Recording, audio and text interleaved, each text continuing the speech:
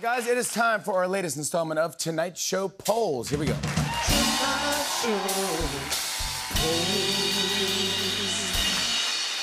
Uh, well, we love polls here at the show. Love them. Yeah, yeah. So this first poll asks, "Are you ready for the first presidential debate?" Kamala Harris said yes. Donald Trump said yes. Yes. Yes, something was the matter. When I saw Caesar Suffering succotash.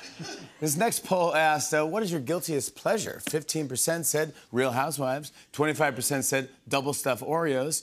60% said pounding the door close button as someone runs out to the elevator. Hi. Hi. This next poll asked, uh, "Are you worried about inflation?" 12% said no. 84% said kind of. 139% said, honestly, I'm starting to be. One, 14,250% said, yeah, I see it now. It's interesting. It's interesting. That's a, that was an interesting poll. This next poll asks, what's something you'll remember for the rest of your life? 20% said, my wedding day.